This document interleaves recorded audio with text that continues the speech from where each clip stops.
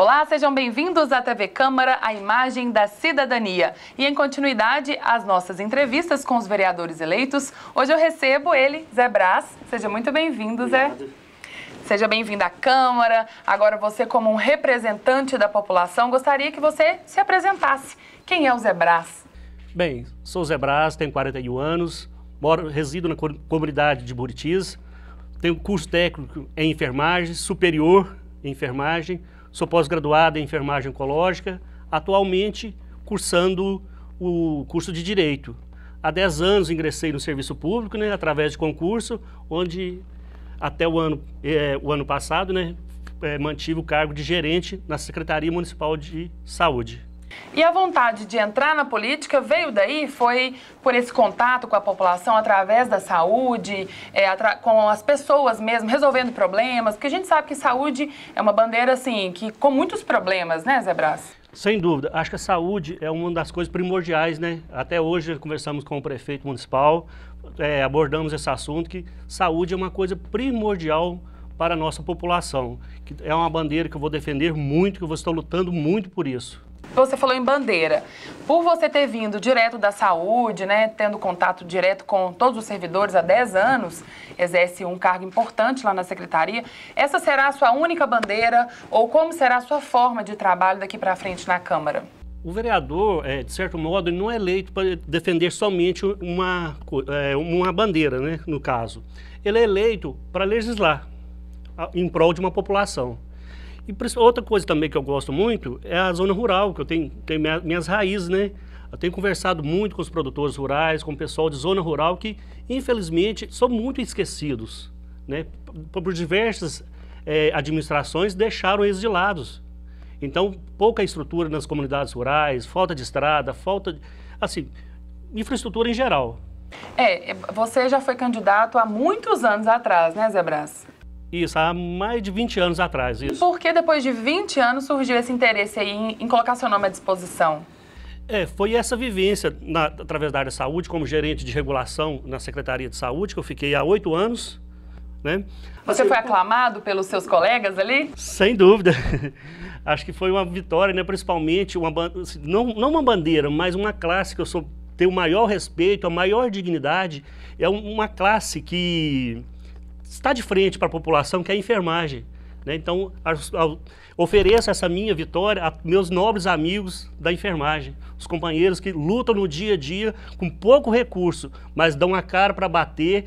Muitas vezes, já vi colega meu levar material para as unidades para atender a população, por a unidade não ter aquele material, né? o colega comprar do bolso e ele está levando para atender a população, mesmo com condições precárias de trabalho, estão ali dia a dia, ali, na linha de frente do Covid, por exemplo, são eles que estão ali atendendo a nossa população. Você estando alinhado aí com a saúde, como você pode contribuir agora como representante? O que a população pode esperar é, do Zebras? Uma fiscalização efetiva, né? Junto ao poder legislativo e executivo, né? Cobrar melhorias na qualidade de trabalho, melhorias. Hoje, até também, já, como, como conversamos com o prefeito, cobramos das cirurgias eletivas, né, que estão muito acumuladas. É justamente isso, cobrar o executivo uma melhor qualidade para a nossa população na área da saúde. Falando em expectativa, nós tivemos uma grande renovação na Câmara Municipal, com novos eleitos, com dois vereadores que já foram, foram vereadores e voltaram, e alguns reeleitos. Como você vê essa nova Câmara, esses novos colegas? O que, que você acha que será o diferencial dessa Câmara? A gente não trabalha com nova e velha política. Existe aquela política que é boa, a política que é boa para a sociedade. Aquele político que esteja em dois, três, quatro mandatos, isso não tem nada a ver. Mas tem, a gente tem que trabalhar com um político que tenha compromisso com a sociedade. Essa nova equipe que está entrando, vejo muito bom compromisso, como nosso presidente lá que foi reeleito e está lá com, comigo na chapa lá, o presidente Print, que é uma pessoa espetacular, que mostrou muito respeito, muito compromisso com nossos projetos pela cidade. E você vê um diferencial da Câmara por ter duas mulheres também? E isso também é uma grande renovação, né? Uma Câmara com mulher, assim, há um brilho a mais, sem dúvida. Deveria ter mais, né? Mas infelizmente não conseguiram eleger, mas já como se diz, é uma vitória ter duas mulheres lá. E como será assim, a gente está no início, mas você já tem alguma expectativa para o seu relacionamento com o Poder Executivo?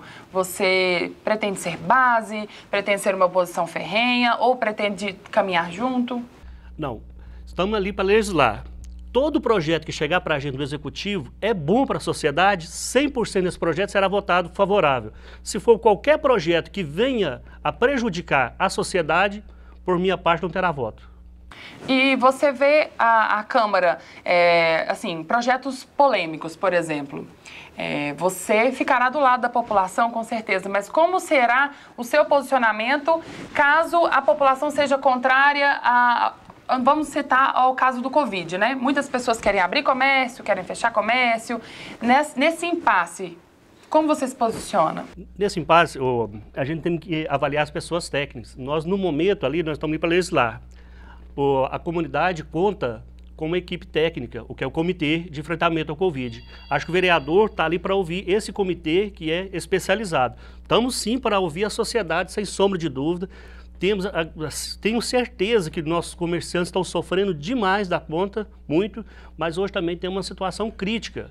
Então, quem dará esse posicionamento para a Câmara né, será o Comitê de Enfrentamento ao Covid.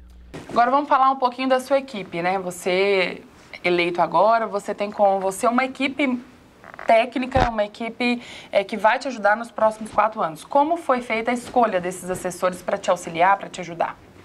É, principalmente procurei pessoas também novas, né? E principalmente é, procurando técnica da área. Dos, uh, todos os meus assessores são pessoas técnicas, pessoas comprometidas com a sociedade, que com certeza terão um bom relacionamento, entendeu? É, relacionado aos projetos da Câmara. Você será um vereador que atuará com muitos projetos? A sua intenção é fazer isso? Você já tem algo em mente para começar? A questão não é fazer muitos projetos, é fazer projetos que sejam aplicados, que não sejam para só enfeite para o vereador. Um dos primeiros projetos que eu quero apresentar ao Legislativo, ao Executivo, é a questão de, de um projeto na área oncológica, área que eu gosto muito, que eu tenho muito carinho por esses pacientes, né? Eu convivi bastante tempo com eles, já tenho a formação especializada nessa área. Você será um vereador com um reduto em algum bairro ou você pretende atender a cidade toda? Eu tive uma votação muito é, pulverizada. Tive votos nos quatro cantos da cidade, graças a Deus. Então, a, tanto eu como a minha equipe estará à disposição de cada cidadão divinopolitano, tanto pode estar me ligando, pode estar ligando para os meus assessores, que estaremos dando ouvido e voz a esse cidadão. Zé Brás, já estamos chegando ao final, né? Caminhando para o final da nossa entrevista. Eu gostaria de deixar a TV Câmara à sua disposição, à disposição do seu mandato. Com certeza traremos boas notícias de tudo que for feito no seu mandato aqui para a população tomar conhecimento. E agora você fique à vontade para conversar com o seu eleitor, deixar um recado, o que eles podem esperar do Zé aqui na Câmara. Te agradeço pelo convite, né? É, todo eleitor divinopolitano, né, cada cidadão, pode estar nos procurando, levando a sua demanda, levando as suas ideias, seus projetos. Pode me procurar, procurar meus assessores, né? que estaremos lá disposto a ouvi-los e representá-lo, dar a voz a cada um de vocês, independente de qual bairro que seja, se, ser, se seja eleitor de um outro vereador, isso não tem problema. Estamos ali para servir a população divinopolitana. Muito obrigada, Zé Braz. Boa sorte e sucesso para você. Muito obrigado, eu que agradeço. E nós ficamos por aqui. Obrigada pela sua presença e participação. Até a próxima.